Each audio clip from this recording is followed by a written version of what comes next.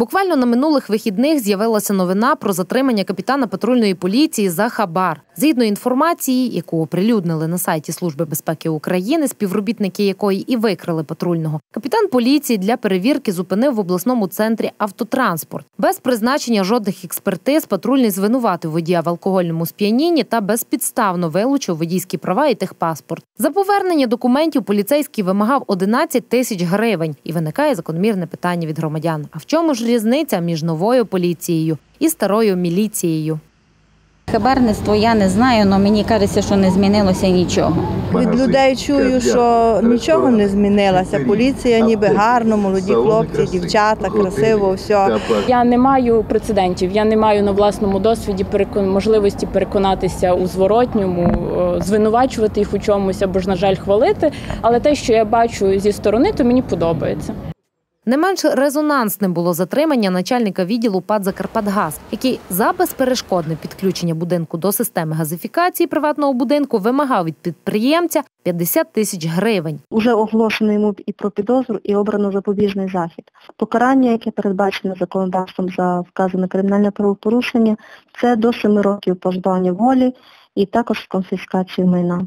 І вже на початку цього тижня правоохоронці виявили корупційну діяльність судді Мукачівського міськрайонного суду та посередника. Суддя та начальник відділу місцевого пенсійного фонду запровадили злочинну схему додаткового заробітку. Так, за вирішення питання щодо прийняття судового рішення на користь позивача, а саме про виплату останньому компенсаційних. Служитель Феміди та посадовець пенсійного фонду вимагали 8 тисяч гривень неправомірної вигоди. Розпочато кримінальне провадження за частиною 3 статті 368, а це е, одержання неправомірної вигоди службовою особою.